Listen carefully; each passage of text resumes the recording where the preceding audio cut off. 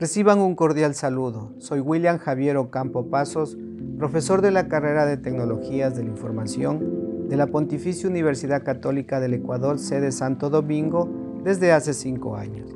Imparto asignaturas como por ejemplo programación, ingeniería de software, investigación aplicada, entre otras.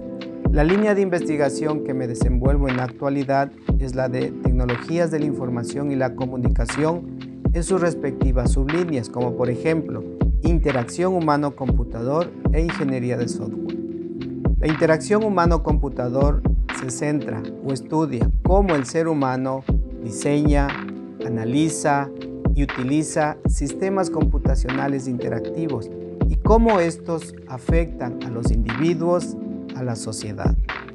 La ingeniería de software estudia la planificación, el análisis, el diseño, la construcción y el despliegue de sistemas y la aplicación de nuevos métodos, metodologías, buenas prácticas y técnicas. En el 2018, conjuntamente con cinco estudiantes, formamos el grupo de investigación formativa HCI con el objetivo de fomentar una cultura de investigación en estudiantes de pregrado para esto se solicitó la ayuda de todos los profesores de la Escuela de Sistemas y de un docente externo de otra universidad.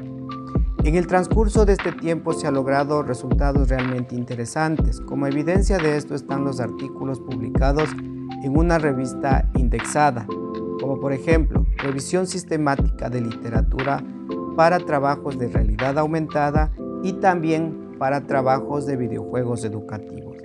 Además, se participó en el tercer Congreso Internacional de Sistemas Inteligentes, Tendencias Interdisciplinarias en Salud. Muy amables. Saludos cordiales.